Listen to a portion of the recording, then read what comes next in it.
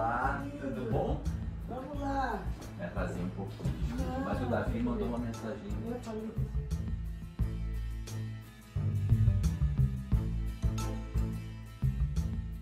Vamos lá. Tomara que você saiba responder tudo. É bom quando eu começo uma entrevista dizendo que eu estou com uma pessoa de quem eu gosto e que eu admiro. Esse é o nosso entrevistado de hoje, que é o Marcelo Calhero. É um jovem político do estado do Rio de Janeiro e que, no seu curto tempo de carreira, já conseguiu até destronar altas figuras da República e conseguiu também fazer um gesto raro, que depois de apenas seis meses como ministro da Cultura, com todo o poder, numa área que ele domina perfeitamente, que é a área da cultura. Ele já foi, havia sido já secretário de cultura no Rio, feito um belíssimo trabalho. Ele em seis meses pediu demissão porque ele não concordava com a pressão que vinha sendo feita a ele por um político importante para fazer aprovar um projeto que o IFAM havia obstaculado. Marcelo, como está? Muito bem, eu digo Vamos fingir obrigado. que a gente não se viu É ainda, não isso, se é cumprimentou.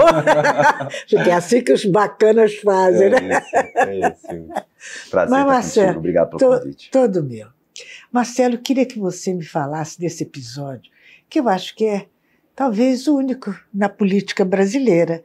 Um jovem promissor político como você. Você já havia sido deputado federal, ou não? Ainda não. Ainda não. Naquela ocasião. E você abrir mão do poder e de um poder tão sedutor em nome dos seus princípios éticos, morais, pessoais. Fale sobre isso. Olha, eu de ali, assim, é, primeiro, aquele momento que eu estava no governo federal, no governo Temer, né? Eu fui convidado e eu entendia isso de maneira muito clara, primeiro pelo trabalho que a gente havia desenvolvido aqui na Prefeitura do Rio e pelo fato de eu ser servidor, né? Eu sou diplomata de carreira. Então, o servidor, ele tem esse compromisso de estar no governo que seja, mas ao mesmo tempo resguardar todo o arcabouço do interesse nacional. É, as carreiras de Estado têm isso muito presente. Isso ficou mais patente, inclusive, agora no governo Bolsonaro, né, em que nós tivemos o ataque a diversas carreiras de Estado, como, por exemplo, do INPE. Estou aqui pensando uma ilustração, né, mas é, isso ocorreu na Polícia Federal, na Receita, é, nos bancos estatais. No Ministério da Saúde, foram os servidores de carreira que seguraram o tranco naquele momento de negacionismo, né, naquele momento de é, ataque às vacinas, né, ataque à ciência. Então, estou fazendo só essa digressão porque é, eu entendia muito claramente o meu papel ali no governo. É claro que um ministro tem uh, é um agente político, sem dúvida alguma, mas a minha presença ali ela vinha de um outro lugar. Ela não vinha porque eu tinha votos no Congresso ou porque eu, eu, eu pertencia a esse ou aquele partido. É, eu tinha um viés claramente técnico é, naquela, na condução do Ministério da Cultura. É um momento muito conturbado né, do Brasil, é, do ponto de vista político. E é, eu sempre procuro fazer, quando eu falo sobre episódio, sobre esse episódio, eu, eu sempre procuro fazer a diferença entre a distinção entre lealdade e cumplicidade. Porque na medida que você tem um chefe, na medida que você está numa organização, seja ela qual for, empresarial ou política, né, administrativa, você precisa, você deve lealdade ao seu chefe. Isso é natural. Né? Então, é, se eventualmente há uma diretriz de governo num determinado sentido, vamos ter que fazer um corte orçamentário, vamos ter que investir mais nessa direção, ok, isso faz parte né, do dia a dia. Mas quando surge um pedido para que você faça parte de um esquema criminoso, o seu chefe deixa de estar pedindo lealdade e passa a pedir sua cumplicidade. Embora as palavras lealdade e cumplicidade guardem alguma proximidade, né, enfim, talvez pertençam até um, a um mesmo campo semântico, elas são diferentes exatamente nisso. Todos temos que ser leais aos nossos chefes, aos nossos superiores, mas jamais cúmplices. E uh, o que me foi pedido naquela ocasião é que eu fosse cúmplice de um crime. E que crime foi esse? Estava uh, sendo construído um edifício na ladeira da Barra, em Salvador. E eu comecei a receber pressão do então ministro da Secretaria-Geral de Governo, uh, Gedel Vieira Lima, todo poderoso, para que eu fizesse uma intervenção junto ao IFAM e o IFAM retirasse os obstáculos que havia é, colocado aquele projeto. Era um espigão numa área de proteção uh, do patrimônio histórico. Pra você ter uma ideia, eu tinha mais de 30 andares, o nome do empreendimento era Lavi, e fazia sombra até na praia. Então era uma coisa mastodôntica, totalmente fora uh, do padrão daquela área. E uh, o Gedel começou a me impressionar, até que o próprio presidente da República, o Temer, também é, entrou nessa pressão uh, para que eu fizesse essa intervenção no IFAM, para que, com o que a gente chama de supervisão ministerial, eu consentisse com a construção, que eu liberasse aquele empreendimento. E olha como é que essas coisas são conectadas. Né? Então, eu, eu, eu, dado momento, disse que não faria de jeito algum, começaram a colocar uma, querer colocar umas notinhas na imprensa para me fritar, aquele processo de fritura, né? até para que eles dessem uma narrativa, porque algumas semanas antes eu tinha recebido elogios públicos, inclusive, do presidente, do governo, na condução da cultura. Então, como é que de repente um ministro sai? Então, eles começaram a soltar algumas mentirinhas aqui acolá, é, e amigos até na imprensa me haviam alertado, né, de que eles tinham começado um processo de fritura. E eu resolvi, uh, como se diz no, no português, é, castiço, eu resolvi botar a boca no trombone. Porque eu, eu tinha ciência de que o Brasil precisava saber a verdade em relação àquilo que estava acontecendo, né? De novo, um momento conturbado da política e havia gente querendo operar o governo em favor de interesses particulares. Isso é advocacia administrativa para falar o mínimo.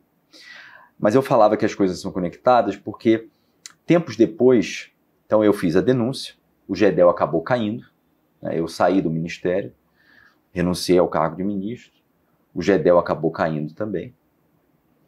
E nove meses depois, descobrem o tal do bunker do GEDEL, a maior apreensão de dinheiro vivo da história do Brasil, 52 milhões de reais. Eram malas e malas empilhadas, cheias de dinheiro, né? É isso. E descobriram que aquele edifício, aquele empreendimento que o IFAM havia barrado, era, na verdade, usado num esquema de lavagem de dinheiro do Gedel. Ou seja, o interesse maior dele era que a construção seguisse adiante para que ele pudesse lavar dinheiro. Então, eu, eu ouso dizer, inclusive, que aquele bunker acabou existindo porque o empreendimento não existiu. Uhum. Então, como o empreendimento não existiu, ele não tinha onde lavar dinheiro, ficou acumulando aquela, aquele fruto de corrupção, né? É, ele, ele foi gestor da Caixa Econômica também, né? Ele foi gestor da Caixa Econômica, ele foi é, ministro do Temer, tem um histórico aí bastante é, né, de, de, altos cargos na República, é, e, e é, ficou bastante emblemática essa figura como alguém ligado à corrupção, né, e que ficou na cadeia durante muito tempo, é, foi solto um pouco mais recentemente, já está aí dando, dando pitaco na política, é, dizendo que as pessoas vão ter que engoli-lo né, e tudo mais, é, o pai, ou melhor, o irmão e a mãe dele também foram implicados no, mesma, no mesmo contexto investigativo, né? É, não sei se chegaram a ficar presos, acho que não. Mas o fato é que ali ficou muito claro o que acontecia. Era um esquema claro de corrupção. É, como se costuma dizer também, né? Eu, eu acertei é, no que vi, ou melhor, eu, eu, eu mirei no que vi e acertei no que não vi, porque o que era uma pressão para um empreendimento imobiliário se revelou um esquema de corrupção muito maior. Né? É verdade. É... Agora, Marcelo, como é que você vê essa certa conivência de setores da nossa sociedade com a corrupção? Não é que sejam setores corruptos, muito menos pessoas corruptas, mas aceitação. Eu chamo isso de dançar um minueto social, né? A aceitação como se não vissem. E, e eles não, se, não ficam indignados. Queria que você falasse sobre isso. Olha, eu acho que no Brasil a gente passou por um processo, né? É... Primeiro que eu sempre sou muito cuidadoso quando eu falo assim da luta contra a corrupção, porque nós vimos que isso foi instrumentalizado em favor de grupos radicais de extrema direita, é, que criaram uma narrativa muito sedutora para certa parcela da sociedade é, e acabaram criminalizando a política. Então eu acho que a gente, é, nós precisamos é, essa luta messiânica que se travou contra a corrupção, ela se revelou pior do que a própria corrupção. É a Operação Lava Jato, né? É tanto isso. nacional como mesmo aqui local no É Estado. isso, é isso. É, e eu acho que eu, eu mesmo, do ponto de vista pessoal, amadureci muito nessa visão. né? É, até por ter ficado mais velho, alguma vantagem a gente tem. Experiência. Então, é, nós temos que ser muito cuidadosos. Mais realmente. velho aos 41 anos. Pois é. Mas, né? é, e, e- então eu sou muito cuidadoso nessa análise, né? Porque eu fiquei muito impressionado com o que o Brasil passou.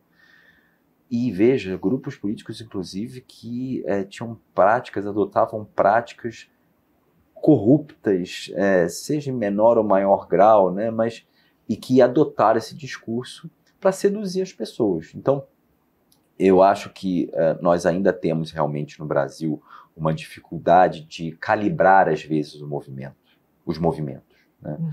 Hoje se fala muito da prevenção à corrupção e isso foi algo que nós eh, adotamos na prefeitura do Rio, né? Os programas de integridade, de transparência, de digitalização da administração pública, que na medida que você bota tudo eletrônico fica muito mais fácil fiscalizar.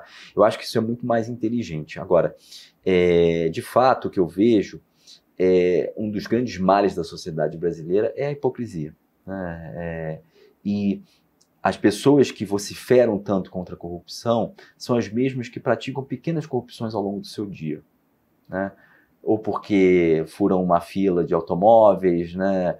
ou porque, sei lá, pedem dois recibos para o plano de saúde.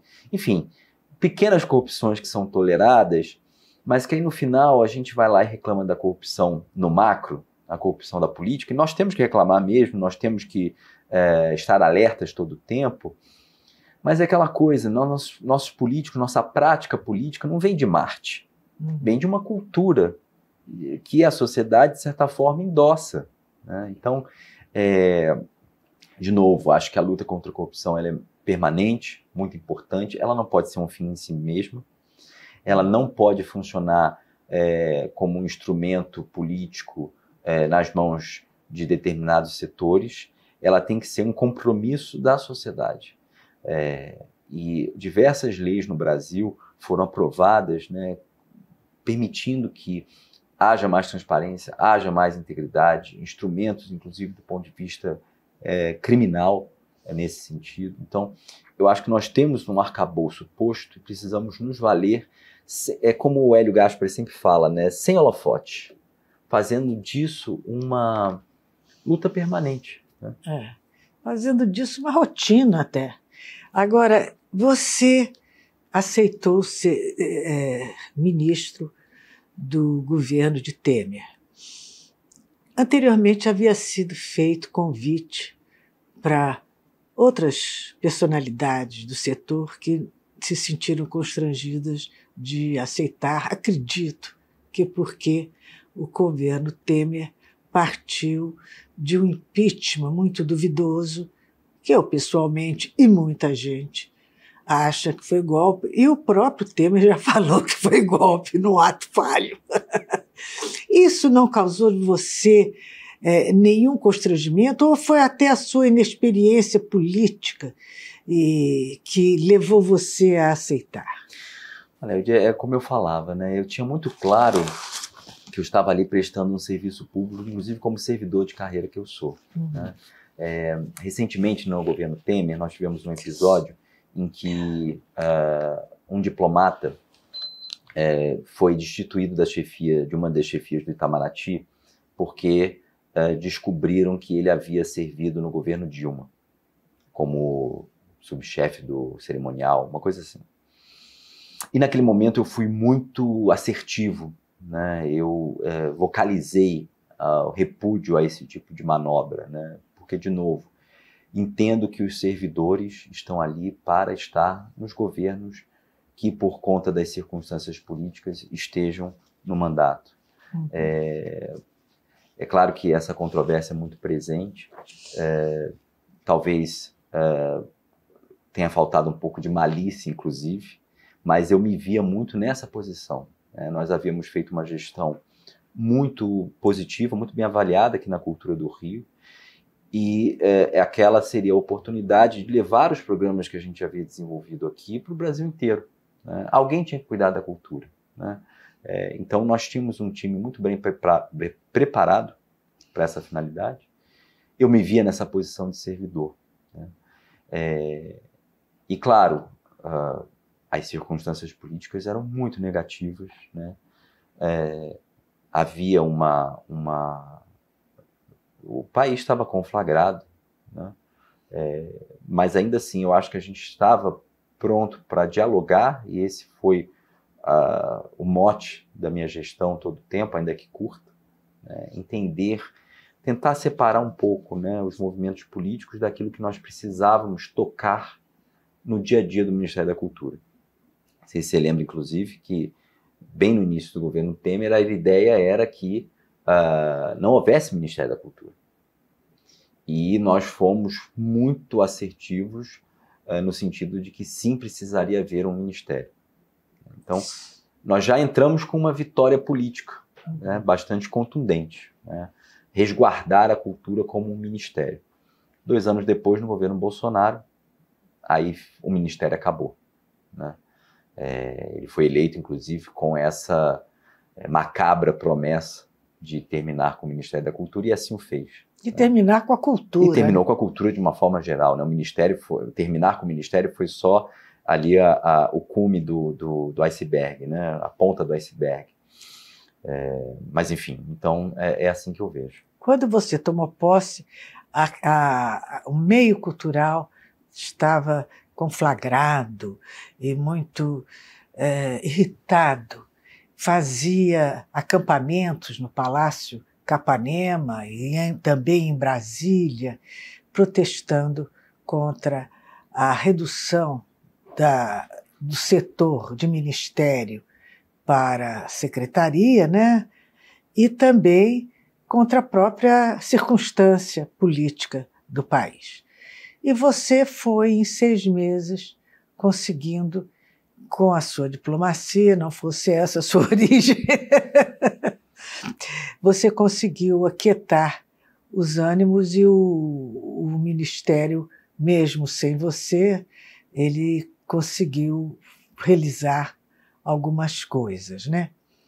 Você, como é que foi essa, essa costura que você conseguiu realizar com um setor que é tão combativo e aguerrido como o setor cultural? Você contou com, com, com parlamentares? Qual foi a sua, o seu trabalho para conseguir essa harmonização? Uh, nós procuramos desenvolver um trabalho muito técnico, Hilde. É, e técnico eu digo assim, todas as secretarias do Ministério da Cultura, nós não colocamos figuras políticas, fosse de que lado, né? É, nós é, adotamos pessoas inclusive do próprio Ministério, nós adotamos um programa para que os servidores do Ministério pudessem ascender a cargos de chefia. Uh, isso ficou bastante marcado na nossa gestão.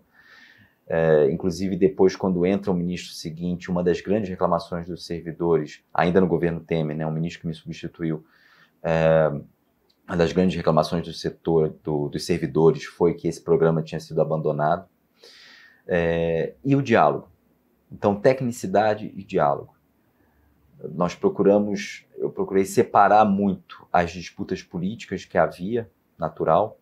É, muitas delas, às vezes, eu entendo, ultrapassavam até buscando me atingir pessoalmente, né? É, em alguns episódios mais lamentáveis, é, eu fui atacado, inclusive, mas eu procurava é, fazer com que as pessoas entendessem o meu papel ali. Né? De novo, um servidor de carreira, alguém que veio da área técnica, alguém que veio uh, do governo do prefeito Eduardo Paes na Secretaria de Cultura, dialogando com o setor aqui do Rio, e que a gente queria continuar com esse trabalho. Né? Então, até em termos de amadurecimento pessoal, né? eu não levei nada para o coração, é, porque entendia realmente que os ânimos ali estavam acirrados, não por causa do Marcelo Calero, não por causa do Ministério da Cultura, porque havia pessoas e grupos políticos que, por conta de todo, todo aquele desenrolar, estavam se sentindo injustiçadas, estavam se sentindo alijadas, é, e é natural que os ânimos fiquem acirrados num contexto como esse. Então, eu, ve, eu procuro ver as coisas hoje, e o dia até por conta do que nós passamos nos últimos quatro anos, com uma certa é, naturalidade e realmente fazendo esse exercício de não levar nada para o coração. Né? Uhum. É, mesmo quando os ataques foram mais abaixo da cintura, ou foram mais pessoais, é, procurar entendê-los dentro desse contexto maior. Né? E, de novo, nós conseguimos fazer com que o ministério fosse conduzido naquele período curto, prestigiando os servidores, trabalhando uh, a tecnicidade e uh, sempre com muito diálogo. Uhum. Assim que eu acho que a gente conseguiu uh, vencer algumas barreiras. Né? O ministério tinha que funcionar. É aquela coisa que, o, citando novamente o Hélio Gaspar aqui, não preciso nem dizer que eu sou fã, né? mas citando o que ele sempre fala, a lojinha tinha que ser aberta é, a quitanda tinha que vender suas frutas é, todos os dias e foi o que nós procuramos fazer, né? Aliás, posso pedir um pouco de água? Claro. É você está sempre no teatro, sempre, né? Sempre. Toda semana eu vou a uma, duas peças. É, faz muito bem. Porque o secretário de cultura tem que estar na cultura da cidade. Vocês estão vendo que o Marcelo Calero é uma pessoa muito bem articulada e, e, e muito segura do que ele fala, do que ele diz, e sempre, como ele fala mesmo, com muita calma, né, Marcelo? Às vezes a gente sai um pouco do prumo. Marcelo, tentaram fazer com que o Brasil desse um passo atrás na questão LGBTQIA, proibindo as uniões homoafetivas. O que, é que você acha dessa proposta? Olha, Hilde, assim, é, o que, que nós vemos hoje, né?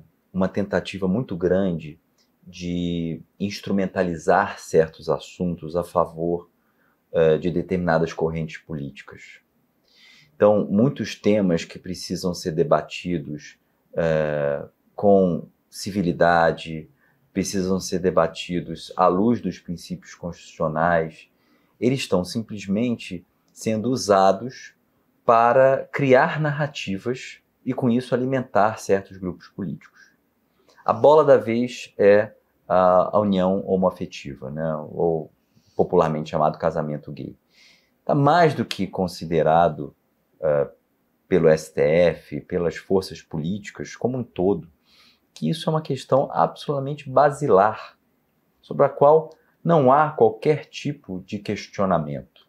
Então, artificialmente se cria uma questão para insuflar certos discursos. E o que nós vimos é que uh, uma, um certo segmento político se valeu de uma maioria circunstancial em uma deter, determinada comissão da Câmara para trazer esse assunto e alimentar a sua narrativa. Narrativa essa que eu tenho certeza não encontra eco nem nas suas próprias bases a não ser ali para uma meia dúzia de radicais, uhum. que não consegue ter essa visão humanista, civilizatória. Né? Então, eu até tive algumas discussões com alguns amigos que falavam assim: ah, mas nós temos que vocalizar de uma forma mais assertiva esse assunto. Eu falei, gente, vamos pensar um pouco friamente, porque assim, isso não vai passar nas outras comissões, isso não vai passar no plenário, o STF não vai permitir que um absurdo desse entre em vigor, essa proibição né, do casamento. Então, será que eles não querem exatamente que nós né, tenhamos esse embate? Porque aí nesse embate eles se engrandecem? Será, no popular, será que a gente não está batendo palma para maluco dançar? Até que eles conseguiram essa, essa vitória aí de Pirro, né, conseguiram essa aprovação mas é, do limão uma limonada. Embora isso seja muito represente uma afronta novamente aos princípios humanistas, civilizatórios, aos valores constitucionais de 88, ao mesmo tempo eu vejo isso como uma oportunidade da gente pedagogicamente mostrar à sociedade a importância que nós é, devemos dar à consolidação da conquista de certos direitos. Seja em relação à comunidade LGBTQIA, seja em relação à luta antirracista, seja em relação às mulheres, para nós construirmos uma sociedade mais solidária, mais orgânica, mais justa, e que se não for esse o caminho, ninguém vai se beneficiar dela. Então, eu acho que esse episódio serviu para demonstrar que o copo meio cheio, meio vazio. Ao mesmo tempo em que há certos segmentos tão uh, de maneira tão agressiva é, querendo que a sociedade volte ou que pessoas sejam estigmatizadas, às vezes até, imagina, invocando o próprio Cristo para isso. Não sei que Cristo, né? Cristo que é, acolheu a prostituta, acolheu o publicano, né, que sentou-se à mesa com o publicano. O publicano era o cobrador de impostos, era a figura mais detestada da sociedade daquele tempo. Né? Então, ele faz. Cristo é o acolhimento, é o amor. Né? O Papa Francisco tem reiterado isso em diversas falas. Então, usar o, o Santo Evangelho, o nome de Cristo, para endossar uma atitude como essa chega a ser patético. Né? Mas, enfim, é, perdão pela digressão. Eu falava que ao mesmo tempo que o episódio pode ser muito duro, e é claro que é, ele também demonstrou que existe sim um consenso na sociedade, né? ou se não um consenso, uma ampla maioria que consegue enxergar essa necessidade de avanço civilizatório. Você inaugurou na prefeitura a compliance, né? Como secretário de governo do Eduardo Paz. O Eduardo tem um governo em que não surgem e não há é, qualquer escândalo relativo à corrupção. A gente não escuta falar, nenhum dos governos do Eduardo. Né? E, e você organizou isso. O que, que você fez? Como é que você atuou para fazer andar esse novo essa nova secretaria? Secretaria com, essa, com esse novo conteúdo. Perfeito, Wilde. Assim, é, acho que o Brasil, desde o governo Dilma, começou a criar um arcabouço muito sólido em relação a mecanismos modernos de combate à corrupção. Né? A gente precisa lembrar, por exemplo, que a delação premiada, tão falada delação premiada, surgiu inclusive nesse contexto. Porque se viu a necessidade na administração pública de adoção de certas práticas que pudessem prevenir a corrupção.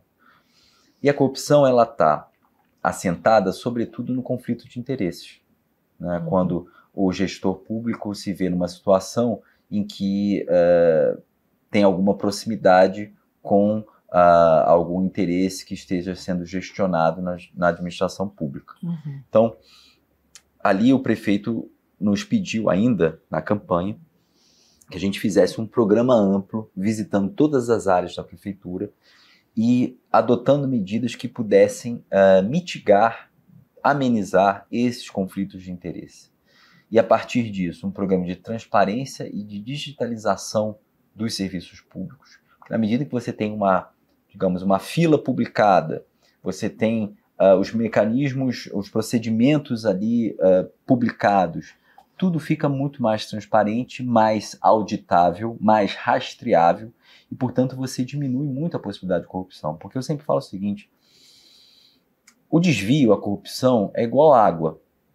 É igual esses golpistas. A água por quê? A água sempre procura um caminho para ela escoar, né? Os golpistas também, a gente vai lá, cria uma ferramenta para inibir o golpe pelo celular e tal, eles vão lá e criam outra ferramenta para ultrapassar aquele obstáculo a corrupção e os corruptos adotam os mesmos procedimentos. Né? Eles estão todo o tempo buscando mecanismos para burlar aqueles seguros que a gente vai colocando ao longo do caminho. Então, a ideia de ter um programa, de novo, de transparência, digitalização e integridade, é diminuir os conflitos, as possibilidades de conflito de interesses, deixar claros os procedimentos que os servidores teriam que adotar nesses casos e uh, tratar a coisa pública de forma o mais republicana possível. Uhum. Né? É, aquela coisa, o cidadão no Brasil, né, por conta de toda a nossa história de violência, de agressão, de injustiça e desigualdade, nós nos tornamos a sociedade do sabe com quem você está falando. Né? Então, o antídoto para isso, que é tão deletério para nós como, uh, digamos, evolução civilizatória, é a criação de parâmetros, de regras claras e republicanas. Né? Então, esse foi o mote é, da implementação do programa de integridade. E vocês criaram essas regras? Criamos essas regras, criamos o Programa Municipal de Integridade Pública, foi o primeiro no Brasil. É, criamos, inclusive, foi curioso o que. O que quer dizer esse programa? Esse programa ele visitava uh, vários aspectos, desde, o, por exemplo, de uma agenda pública, você mostrar onde as autoridades estão, que já existia no governo federal faz tempo, desde a lei de transparência também uh, fruto do, do governo Dilma. Até uh, elementos relacionados à licitação pública, por exemplo. Né? Você uh, fazer uma pesquisa sobre os fornecedores com os quais a prefeitura está contratando. Então, é um programa bastante amplo, que vai desde o dia a dia, do cotidiano do servidor, até os procedimentos burocráticos que a prefeitura adota nas suas contratações às vezes, é, digamos, ações menores ou maiores, mas todas com um grande impacto. Né? Então, é, esse programa ele traz essas medidas de uma forma bem, quase como uma coleção de ritos, né? Uhum. E, e o curioso que eu ia comentar é que no decreto que a gente cria esse programa, eu entendi por bem fazer um preâmbulo porque o preâmbulo, você, como se fosse uma exposição de motivos. Uhum. Você dizia ali o porquê da prefeitura estar adotando aquele, aquele programa. Né? Qual era o raciocínio lógico por trás daquelas regras? Né? Por que, que agora a prefeitura lançava esse conjunto de determinações? Né? Para as pessoas entenderem, porque é, é, sempre quando alguém me traz uma, uma determinada sugestão no trabalho, é aquela pergunta que a gente faz, né? Onde que você quer chegar? Qual é o resultado que você espera? Então, para que as pessoas entendessem que aquelas regras, elas tinham uma razão de ser, não era um capricho do prefeito ou do secretário, não se tratava de algo voluntarioso. É uma das coisas que a gente tem que combater na administração pública esse voluntarismo, né? esse capricho, né? é porque eu quero que seja assim. Né? É, então, nesse preâmbulo, é, nós trazíamos a racional por trás daquelas medidas. E o pessoal ficava brincando, mexendo comigo, dizendo que só a Constituição e o decreto do Calero tinham um preâmbulo. Você lembra do preâmbulo? Eu não lembro ao certo assim, o texto, mas eu lembro que me deu um trabalho danado fazer aquele texto, porque eu falei, tem que ter uma explicação, né? É. E não adianta eu botar uma exposição de motivo, porque ninguém lê exposição de motivo. Eu botei preâmbulo e sugeri ao prefeito que nós colocássemos preâmbulo e colocássemos no decreto e publicássemos o preâmbulo de novo, para que todos entendessem as razões é, que a administração pública tinha para adotar aquelas medidas. Você tem uma carreira muito interessante, porque você, como diplomata, chegou a servir no exterior, né? no México, depois você foi indicado por um antigo embaixador com que você, eu acho, trabalhou para trabalhar na prefeitura, com o prefeito, né? E você foi encarregado de desafios muito difíceis, como organizar a Jornada Mundial da Juventude, que concluiu com a presença do Papa, com aqueles eventos com milhões e milhões de pessoas, e foram todos muito bem sucedidos. Depois você organizou os 450 anos do Rio de Janeiro, né? que também foi um, um ano bem concorrido de comemorações, de eventos, premiações, né? E por fim, só depois, é interessante isso, que só depois de você mostrar a sua competência em desafios tão é, difíceis, o prefeito então premiou você com a Secretaria de Cultura. E nessa secretaria, Calera, eu acompanhei isso muito, porque eu dedico uma grande atenção ao movimento, ao momento cultural da minha cidade, né? Você inaugurou, você reformou dois teatros e inaugurou. Você reformou um Museu da Cidade. Você participou da criação do Museu do Amanhã, Eu não sei se você chegou a, a inaugurá-lo, chegou, inaugurou, né? E várias coisas, programas de biblioteca, interessante, que eram várias bibliotecas pelo Rio de Janeiro inteiro, né? Mas quando o, o prefeito chamou de novo, agora, já num outro mandato, ele lhe deu compliance, não deu isso. E agora você volta para você me, me conta todo essa, essa, esse jogo, essa, essa dança de cargos. Como é que você vai mudando de funções? É, eu desenvolvi com o prefeito uma amizade muito genuína, assim, né? O prefeito é meu amigo, né? Nós trabalhamos juntos há 10 anos, como você bem falou, eu vim para a prefeitura do Rio por conta é, do contato que eu tinha com o embaixador Laudemar, né? Eu tinha trabalhado na Rio Mais 20 uhum. e eu, uh, por conta disso, estive próximo ao prefeito, depois uh, fui para Relações Internacionais, trabalhei no Comitê dos 450 anos e aí veio a Secretaria de Cultura apenas um parêntese de como eh, nós realmente precisamos prestar atenção nas eleições, né? Porque nos quatro anos do governo anterior, nós todos os programas que nós havíamos começado uh, na Secretaria de Cultura foram descontinuados. Uh, e esse é um dos maiores males da gestão pública no Brasil, né? A descontinuidade de programas. A gente viu isso no governo Bolsonaro, né? É, os programas mais elementares que já estavam consagrados, como o Bolsa Família, né? foram descontinuados, né? Às vezes era uma mudança cosmética, mas que tinha um, um subjacente de mudanças também é, muito ruins, muito deletérias, né? Mas fechando esse parênteses, então, quando nós, é, na eleição de 2020, o prefeito entendeu que ele precisava também é, fazer com que o Rio fosse exemplar é, nessas questões relacionadas à integridade pública e transparência. Como eu havia adquirido uma expertise nesse setor, até à luz do que tinha acontecido no episódio do GEDEL, ele pede então que é, eu ajude na, na, no programa de governo sobre a cultura, e eu fiz isso, né, em particular no que se refere ao audiovisual, que é uma área que eu tenho trabalhado bastante, mas me pediu também que eu desenvolvesse um programa específico para essa área de integridade.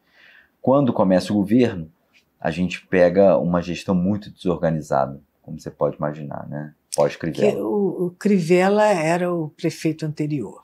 E o, nós pegamos, olha o que aconteceu, é que as pessoas às vezes esquecem isso, né, Hilde? Mas o Crivella foi preso, faltando 10 dias para a posse do Eduardo. Então, assim, a cidade estava mergulhada num caos, como a gente viu em diversas vezes o próprio estado do Rio, né? Então, naquele momento, acontecia também com a cidade. Pela primeira vez, inclusive. Então, o prefeito se cercou ali daquelas pessoas mais próximas. Né? Eu tenho muito orgulho de fazer parte desse círculo. Né? Então, o deputado Pedro Paulo foi para a Secretaria de Fazenda e Planejamento, eu fui para a Secretaria de Governo, uh, porque nós precisávamos trabalhar naquele momento inicial com coisas muito básicas. Reconstruir, né? processo de reconstrução. E um processo, eu diria, e até por ser servidor de carreira, é, é, eu me dediquei muito a isso, de reempoderamento dos nossos servidores da prefeitura.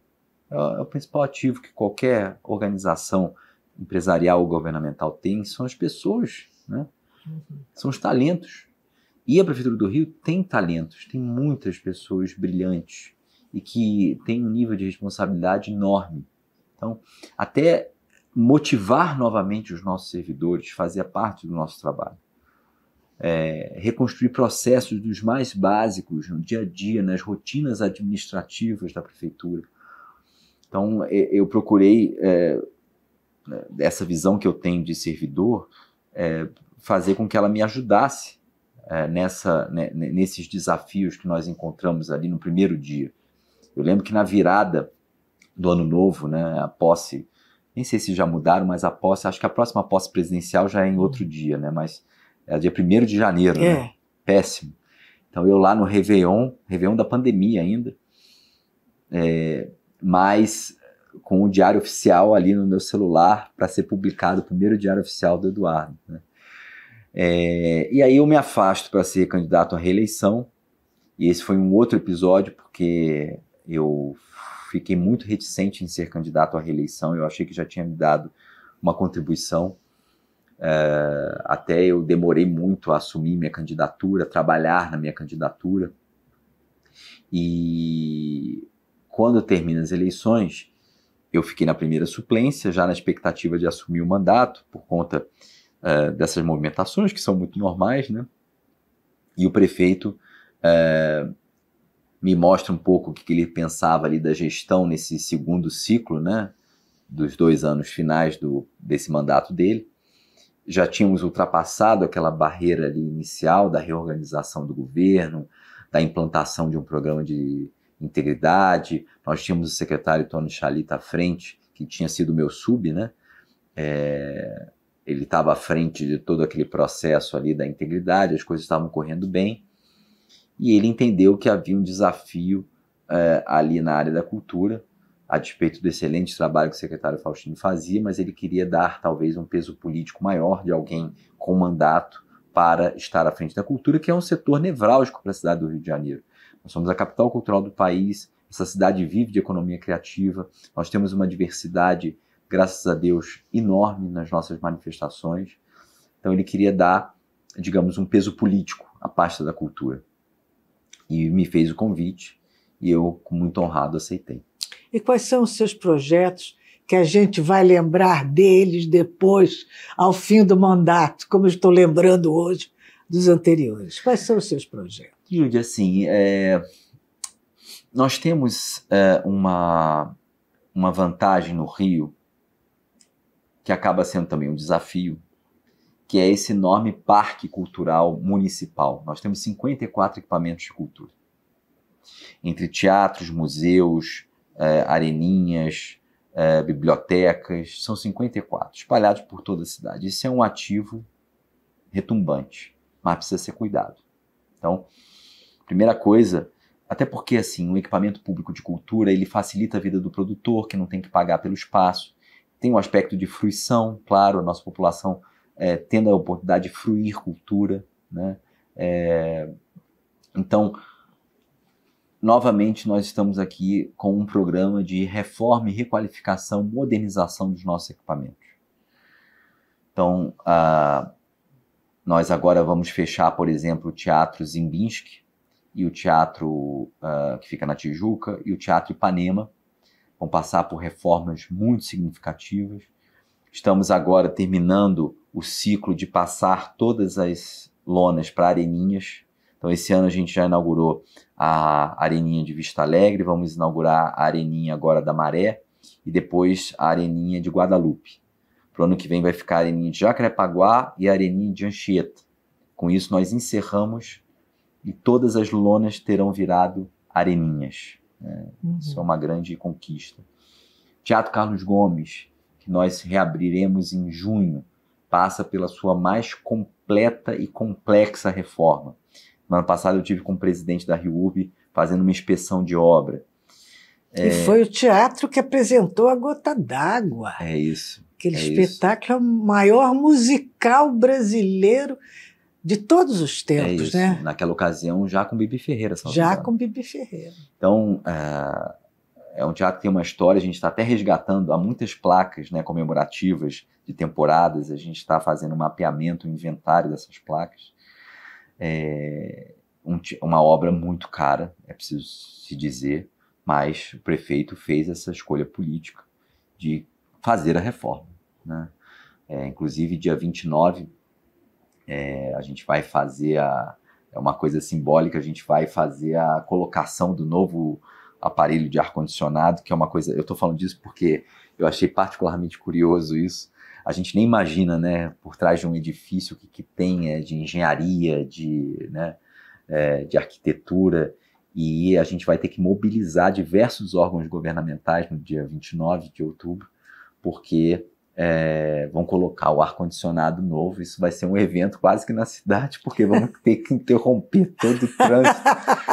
Enfim, eu achei muito curiosa essa operação, por isso que eu estou mencionando. Mas, é, e, novamente, um programa de bibliotecas. Porque o Rio acabou de ser agraciado com o título de Capital Mundial do Livro no ano de 2025. Eu apresentei essa candidatura na Unesco em maio e nós ganhamos. Né? E por que, que eu falo das bibliotecas, Hilde? As bibliotecas elas, elas são muitas vezes a porta de entrada das pessoas na cultura. Porque a crueldade da nossa desigualdade no, no Brasil é tanta que muitas vezes as pessoas têm medo de entrar num teatro porque acham que o teatro não foi feito para elas. Tem receio de entrar no museu. As bibliotecas, elas por terem maior capilaridade e as pessoas terem mais familiaridade com o conceito, elas são mais convidativas. Então, o nosso programa de bibliotecas, é, que a gente chama de Bibliotecas do Amanhã, nós estamos reformando, e a FEComércio é uma grande parceira nisso, nós uhum. estamos reformando essas nossas bibliotecas nesse entendimento, de que elas são porta de entrada para a fruição da nossa gente, coisas até maiores. Né? E quando a gente fala de reforma, não estou falando apenas da requalificação física, da modernização do espaço, estamos falando de acervo, estamos falando de ferramentas eletrônicas, de acessibilidade e de programação socioeducativa, para que as pessoas enxerguem as bibliotecas como um local de encontro, um local comunitário. Então, nós estamos reforçando muito esse caráter comunitário das nossas bibliotecas de bairro. Nós temos 15 bibliotecas espalhadas pela cidade.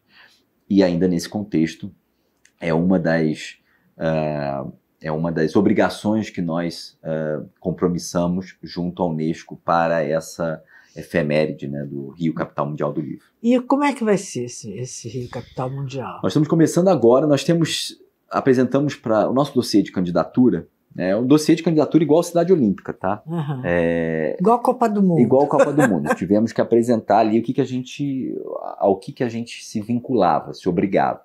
Apresentamos cinco eventos entre esse projeto Bibliotecas do Amanhã, cinco programas, né?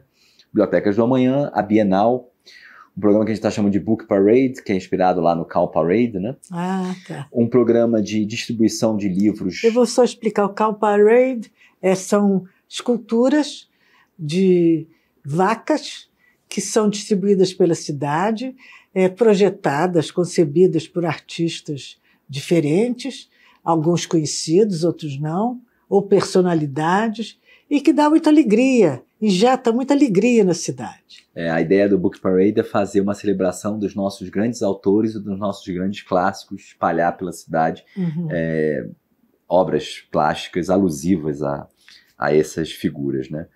Teremos uma, uma iniciativa voltada para os jovens escritores, né? E teremos uma outra iniciativa, uh, dentre essas cinco, uh, de distribuição de livros nos transportes públicos da cidade. Esses são os cinco compromissos iniciais. Só que a partir deles há uma série de desdobramentos na nossa interlocução com outras é, instituições. Editoras. Editoras, Biblioteca Nacional, Academia Brasileira de Letras, que aliás foram grandes parceiros dessa candidatura. Né? A candidatura contou com a parceria do SNEL, contou com a parceria da, da organizadora da Bienal, a GEL, enfim, uh, GEL Eventos, perdão. Contou com, com, com vários, vários parceiros. Flup, né? Flip, tudo. Todos eles, Flup, Flip. É, e agora a gente está trazendo, teremos uma reunião no início de novembro, novamente com esses parceiros. Né? Portugal é um grande parceiro, os países africanos de língua oficial portuguesa né, também, a CPLP, né, de uma forma geral, endossou nossa candidatura, inclusive, lá na Unesco. Então, nós estamos colocando esses parceiros novamente numa mesa, é, contando para eles um pouco do que está no nosso dossiê, do que, quais são as iniciativas que são obrigação, quais são os conceitos que estão é, por trás é, dessa, da, desse projeto comemorativo, né? Então eu posso adiantar para você, né? Nós temos aí o, o, sempre pensando na questão dos territórios, da formação, da juventude. É, por outro lado, em termos geográficos, a gente tem que pensar a escala do Rio, a escala do Brasil e a escala da lusofonia, né? A primeira cidade lusófona a receber esse título da Unesco é o Rio. Uhum. Então nós temos uma responsabilidade adicional por conta disso, né?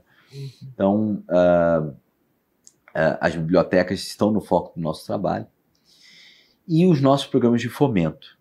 E eu falo deles com muita alegria, Hilde, porque é, na legislatura anterior nós aprovamos a lei Paulo Gustavo e a lei Aldir Blanc, uhum. né?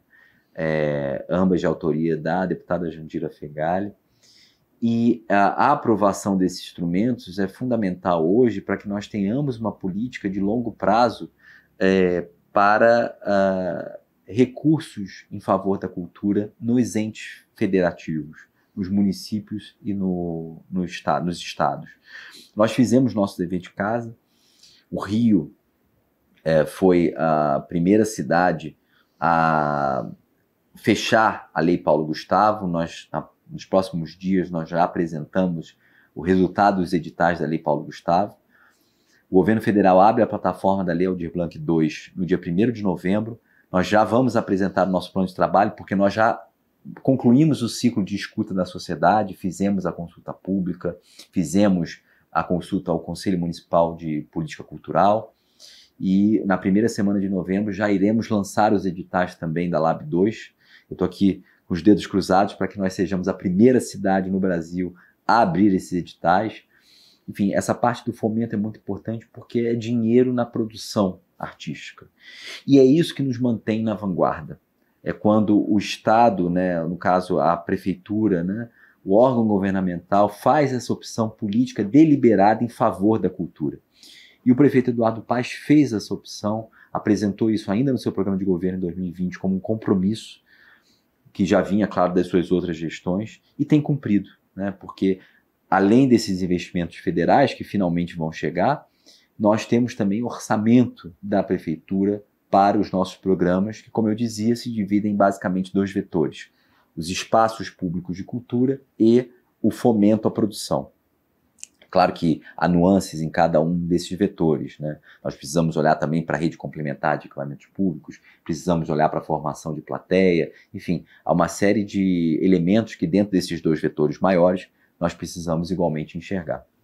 É, a gente vê, é, pode perceber que como a cultura é agradecida por isso, até naquele almoço que o prefeito fez para a ministra Margarete. da Cultura, Margarete, estavam todos os grandes é de todas as áreas da cultura do Rio de Janeiro. É de Fernanda Montenegro a Mira Haddad, ao pessoal do samba, ao pessoal do funk, ao pessoal da favela, ao pessoal do livro, o, a família Barreto em peso, do cinema. Então, é difícil conseguir isso, né, Marcelo? É isso, é isso. isso aí é muita. Quem são as pessoas no Rio de Janeiro que você classificaria como grandes estimuladoras da cultura da cidade? Pergunta difícil. Olha, eu, eu, eu sempre falava o seguinte. Mas é muito tempo que eu não falo sobre isso, mas por que, que o Rio de Janeiro é a capital cultural do país? Porque nós somos um cadinho, né? ou seja, um, um lugar onde nós temos várias tendências é, misturadas, de várias origens, e que a partir disso nós conseguimos desenvolver a vanguarda estética do país. Então, todos os grandes movimentos culturais brasileiros até hoje começam no Rio de Janeiro, é a nossa grande caixa de ressonância. Né? Claro que eu não estou dizendo aqui que é, não existem movimentos que surjam em outras cidades, é evidente que sim, mas é, no Rio é onde há a maior repercussão, né? no Rio é onde há a maior ressonância. Né? Porque. Ainda? Ainda, Yildi, ainda. É, por mais que hoje isso é muito saudável, haja diferentes polos culturais, é no Rio que esses movimentos eles acabam ecoando, é, porque aqui eles encontram um reflexo local. Uhum. Porque como nós somos tão diversos nas nossas origens, sempre existe uma, uma certa ou familiaridade ou aderência a um movimento que já existe aqui. É, então, é claro que, de novo. É o cadinho da cultura. É o cadinho da cultura. Uhum. É, e nós precisamos alimentar essa diversidade investindo em programas que consigam chegar, fazer com que o recurso público chegue na ponta. Tem um programa que a gente desenvolveu lá em 2014, que é o programa de ações locais. Eu sou muito fã desse programa, foi desenvolvido pela doutora Lia Baron, é, ele naquele momento era uma experiência inovadora porque otorgava recursos públicos para pessoas físicas cujos projetos culturais já existiam, ou seja, era uma premiação, e que tinham grande repercussão sociocomunitária. A gente conseguiu, a partir desse programa, fazer um grande mapeamento de iniciativas culturais e o que nós enxergamos foi que essas iniciativas de menor porte, para as quais um financiamento, às vezes em volume de recurso bastante menor, já faz toda a diferença, eram elas que faziam com que essa vanguarda estética carioca pulsasse e se expandisse. Como um grande movimento do universo de expansão permanente, então você tem que alimentar o núcleo. E o núcleo está nos territórios, está nos bairros, está nas esquinas. Né? Então, se o poder público não consegue enxergar, ele acaba matando a galinha dos ovos de ouro. É verdade. Então nós precisamos chegar ali na ponta. E também sem o. Eu, eu acho que uma política pública de cultura ela tem que ser integral, abrangente e não preconceituosa, no sentido de que ela tem que calibrar bem os recursos que você destina a quem está começando, a quem está fazendo na ponta, aos chamados já consolidados. E por que, que eu falo com muita tranquilidade disso, Hilde? Porque a indústria cultural ela é intrinsecamente deficitária. Isso no mundo todo. No mundo inteiro, nós temos que sim ter uma escolha política da sociedade deliberada em favor da cultura, no sentido de outorgar financiamento e fontes de recursos. É... Então, assim, nós procuramos fazer esse calibre abrangente, esse leque abrangente de iniciativas é, para que o rio continue pulsando né, é, a, como caixa de ressonância. É claro que a gente tem a competição de São Paulo, por exemplo. A grana está em São Paulo, o dinheiro está em São Paulo, mas a criatividade está aqui no Rio. Os paulistas vão me detestar por eu falar isso. a gente tem que ter alguma coisa, é vocês isso, me desculpem. É isso. Mas é, é, que vem, eu acho, de todo essa, essa, esse arcabouço intelectual que as próprias universidades presentes aqui na cidade foram capazes de construir, os grandes centros de pesquisa, por sua vez, vem da, do fato da centralidade política, né, que o Rio de Janeiro ostentou e ostenta, né?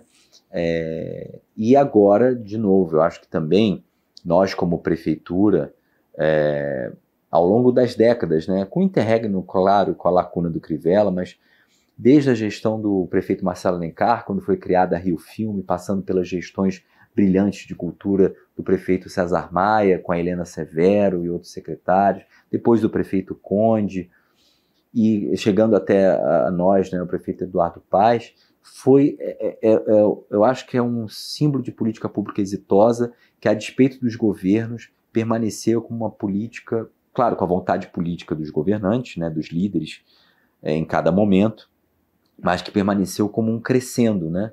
Ah, essa rede que eu comentava, né, de equipamentos de cultura, é, foi é, criada pela Helena Severo, na década de 90, no prefeito César Maia, sem dúvida alguma, a melhor secretária de cultura que a gente já teve nessa cidade.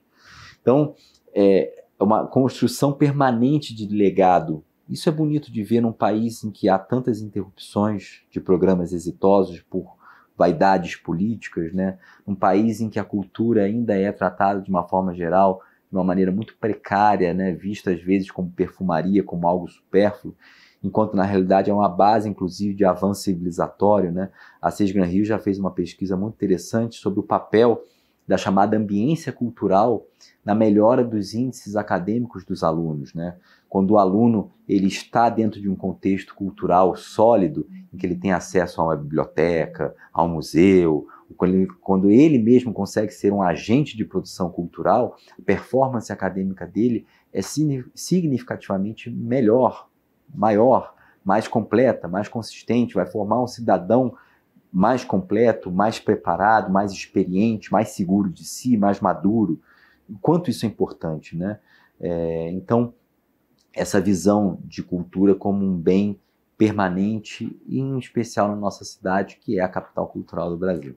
Você, anteriormente, você fez uma comparação do Bolsonaro com o Crivella, que ambos desconstruíram a cultura né, em, em níveis diferentes, né, em, durante suas gestões.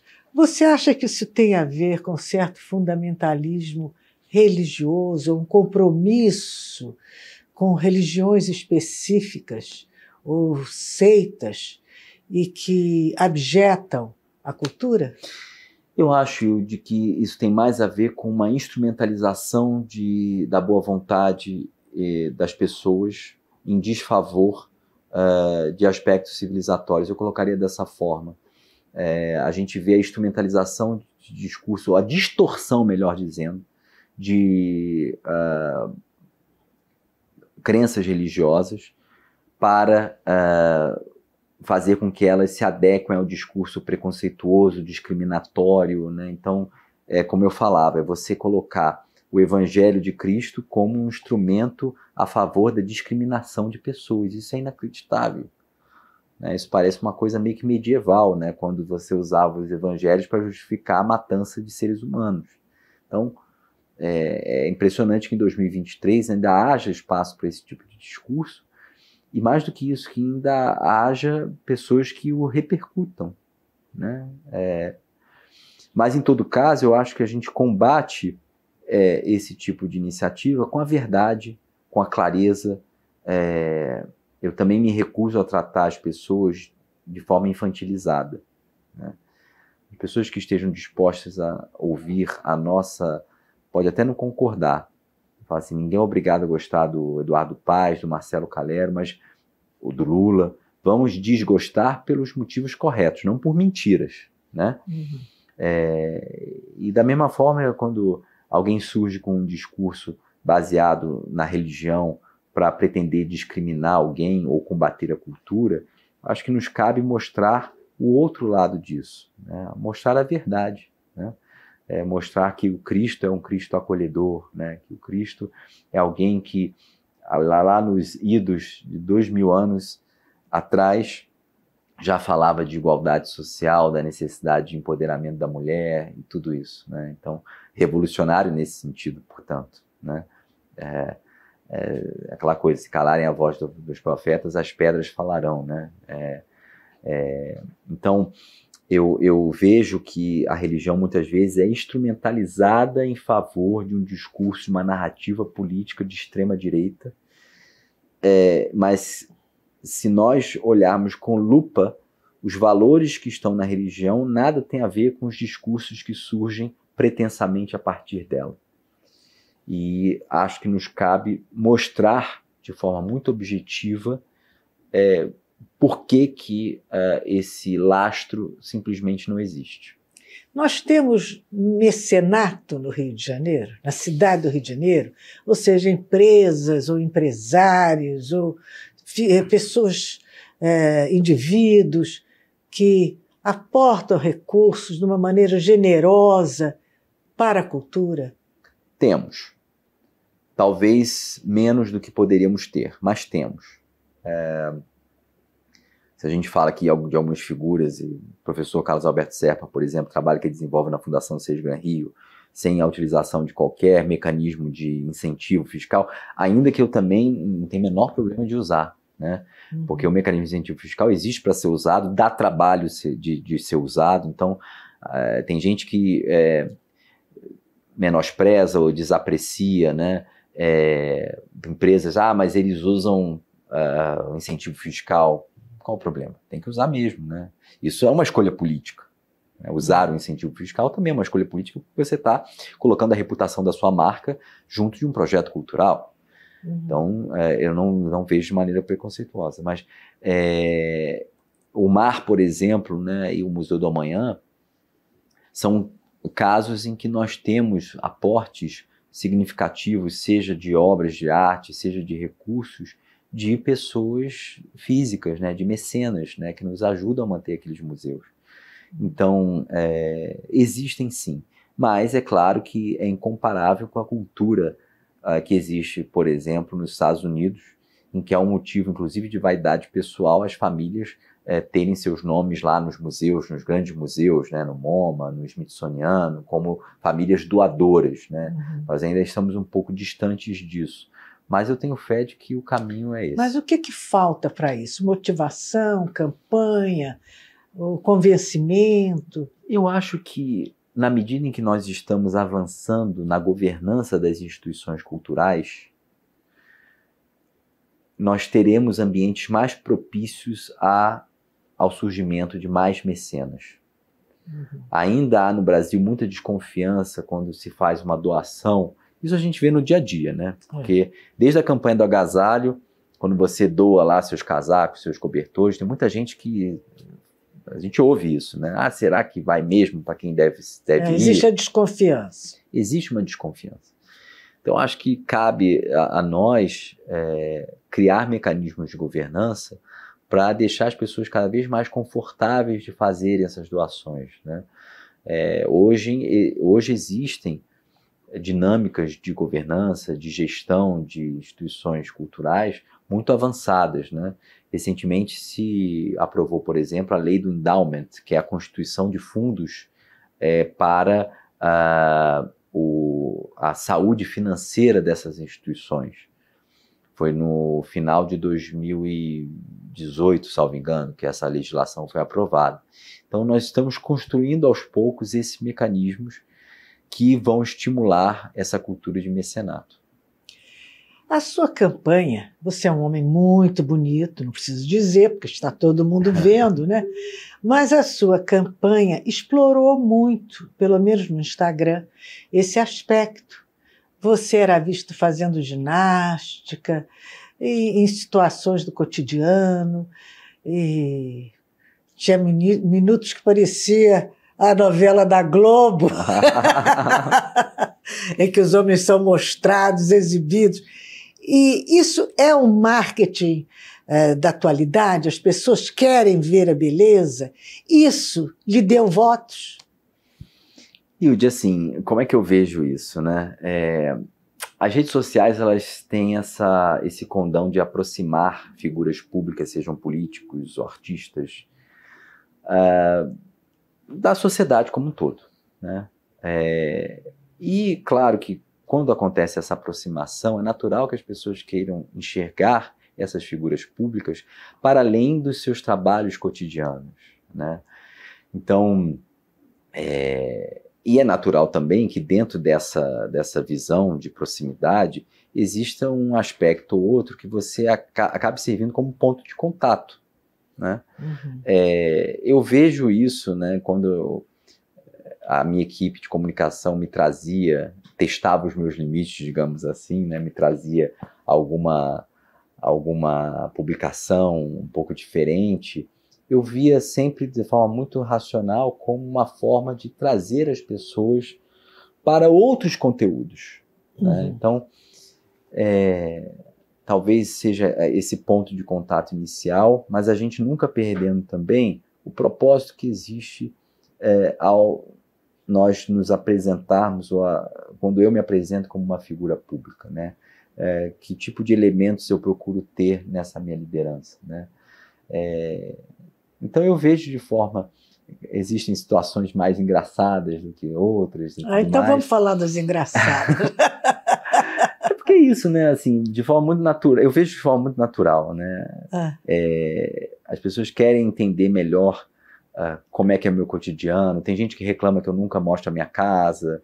É, mas eu, eu, eu, eu Você eu, tem fã-clube? Parece que sim. Mas o pessoal vem, né? Quando eu publico alguma coisa, o pessoal faz elogios, eu me sinto muito envaidecido, né? É, mas sempre tentando entender um propósito maior, né? Então, às vezes, por exemplo, é, nós temos que chamar atenção para determinado prazo da secretaria que está vencendo. Hum. Então a gente fica, porque política é um assunto chato, né, Eude? Política é, é chato. É. As pessoas estão lá é, com seus afases. E, e, de novo, é muito natural isso, porque você está lá pressionado pelo seu trabalho, pressionado pela sua família, transporte que é difícil, a vida cotidiana é difícil. Então as pessoas recorrem às redes sociais para terem um momento lúdico, um momento de prazer, um momento de esparecer, de não ter que raciocinar muito. É. Então é natural que a gente também busque interagir nessa, nesses espaços, né? E às vezes a gente tem um assunto mais sério para tratar, nós fazemos uma, uma isca né? Outro dia eu lembro que a, a gente tinha que falar sobre os editais da Rio Filme, cujo prazo estava chegando no fim. Não, os editais da Lei Paulo Gustavo. O número de inscrições ainda estava meio que patinando. Depois foi ótimo, fomos recordistas de inscrições, mas naquele momento uhum. a gente estava temeroso. E é, eu tinha feito um vídeo da minha natação. Aí o, o pessoal do marketing falou: vamos abrir o vídeo mostrando você nadando e depois você chega e fala: ó, vai ter biscoito sim, né? Biscoito é quando a gente chama, mostra, faz uma coisa assim mais de aparência, né? É. Vai ter biscoito sim, mas eu preciso dar um recado antes. Os editais, as inscrições estão se encerrando daqui a tantos dias, precisamos que você apresente sua inscrição e tal. E deu super certo. Ah, é? Porque as pessoas começaram a ver o vídeo por conta lá da, da natação, e no meio eu entrava com esse recado mais institucional. É. E, e, e, por isso, porque a política é um assunto chato, é um assunto pesado, a burocracia, ou essa coisa do prazo e tal, às vezes pode ser é, algo um pouco mais é, desinteressante. Então, cabe a nós também é, né, criarmos ferramentas para que esse assunto fique mais, mais motivador. Né? Qual é a parte mais espinhosa da sua missão na cultura da cidade? E eu digo assim, o mais difícil é que o Rio é pródigo em bons projetos culturais em projetos que merecem a nossa atenção como poder público, que precisam ter mecanismos de existência e sobrevivência assegurados. Muitas vezes, mas o cobertor é curto. Então, é, muitas vezes nós temos que fazer escolhas difíceis e muitas vezes o que acontece é que um determinado projeto vai demorar mais a ter algum tipo de amparo, algum tipo de subsídio público, é, vai demorar mais a ter uma determinada conseguir pauta em um espaço público. Então são escolhas diárias muito difíceis que nós fazemos na gestão da cultura no Rio de Janeiro. Uhum. É, e com essa iniciativa, com essa missão, como eu lhe falava, de calibrar os diferentes e absolutamente legítimos interesses é, em relação à construção de orçamento, em relação ao diálogo, em relação a, a formatar uma política pública que seja a um só tempo ampla, ampla abrangente, mas que também seja efetiva, né, uhum. que colabore para o engrandecimento da cadeia de cultura carioca como um todo, né, uhum. é, e não apenas de um setor ou não apenas de um nicho. O que eu mais ouço, por exemplo, alguns setores falam assim: ah, nós queríamos um edital específico para o nosso setor. Isso é muito difícil, porque se eu faço um edital específico para um determinado ritmo, não vou aqui citar nenhum, enfim, para ninguém se sentir atingido, o outro ritmo vai querer também. E o outro vai querer também. E aí, como é que eu, como é que eu lido com uma situação como essa? Então, uhum.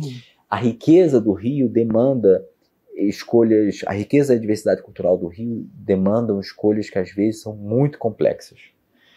E como é que é, eu, eu lido com essa situação. Tratando de ter um processo decisório que reflita essa complexidade da nossa diversidade cultural. Na minha mesa de decisão estão pessoas de diferentes trajetórias, diferentes é, caminhos de vida, é, que me fazem, como gestor, enxergar às vezes os pontos cegos do meu processo decisório. E eu, eu, lembro que eu fui muito impactado. Há mais ou menos uns cinco anos eu assisti, tive a chance de assistir uma palestra do Obama. Ele já não era mais presidente, claro, e ele foi dar uma palestra em São Paulo e eu fui. Uhum. E ele falou exatamente isso, né? Que quanto mais diverso o seu processo decisório é, quanto mais você tiver pessoas de diferentes origens contribuindo para a sua decisão, mais acertada ela vai ser, menos chance de erro você terá. Porque você terá contemplado diversas visões. A decisão, a responsabilidade é sua. E eu não me furto a responsabilidade. Eu sempre falo, por exemplo, em relação aos processos de consulta pública que nós fazemos. Eles são absolutamente válidos e necessários, mas eles não podem ser um fim em si mesmo e eles não podem fazer com que o gestor se exima da sua responsabilidade de tomar a decisão final. Certo. Então, é, o que eu procuro fazer é a decisão às vezes é difícil, mas o processo decisório ele é muito fluido, porque ele inclui muita gente. Você mencionou a gestão da secretária Helena Severo, que realmente ela conseguiu realizar muita coisa, até é, é até mesmo quando ela foi secretária estadual, ela reformou o Teatro Municipal, né? Então, mas uma, uma tônica em que a Helena sempre tocava e insistia era a transformação da cidade através da cultura. E dava como exemplo, inclusive em termos econômicos, ela dava a cidade de Barcelona como o exemplo que ela buscava seguir. O Rio de Janeiro, depois desses anos do fatídico governo anterior, tanto local na cidade como nacional, nós viramos uma cidade muito empobrecida. Viramos uma cidade com o centro da cidade transformado à noite num grande dormitório e mesmo as calçadas dos bairros elegantes da Zona Sul, né, povoados com pessoas estado de pobreza absoluta, necessitando de ajuda, de apoio, de todo tipo de apoio. Né? Qual é o projeto cultural? Existe esse projeto cultural que tenha a, a, o mote e, e o moto de resgatar o social no Rio de Janeiro? Olha, Hilde, assim, é, o investimento em cultura por si só, ele já tem realmente esse, esse condão. Né? Primeiro que ele emprega muita gente, de diferentes trajetórias, de diferentes é, qualificações. Informações, né?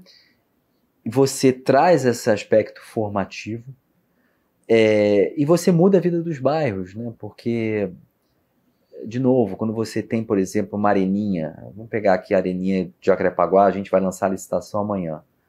É, até o entorno do lugar, ele se torna vivo, né? ele se torna é, pujante, né? porque é, você tem novamente ali o bar, o pipoqueiro, o pessoal do quiosque, é o motorista de táxi, é o Uber. Então, assim, é, eu, eu vejo a cultura como um grande vetor de desenvolvimento, seja local, seja em termos de cidade. Agora, o Reviver Centro, por exemplo, que é esse grande projeto que o prefeito Eduardo Paz criou para trazer o, a moradia novamente para o centro, né, o que as pessoas voltem a morar no centro. É, né? volte né? a ser um bairro residencial. Residencial.